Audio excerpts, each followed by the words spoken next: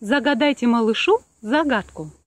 Комок пуха, длинное ухо, прыгает ловко, любит морковку. Кто это? Это кролик. Кролик – это домашнее животное. Он живет рядом с человеком. Человек о нем заботится.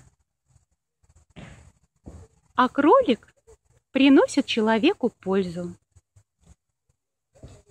При возможности рассмотрите с малышом строение кролика. У кролика тело покрыто мягкой шерсткой. На голове у него длинные ушки, быстрые сильные лапы и маленький короткий хвостик. Кролики очень любят лакомиться морковкой, капустой,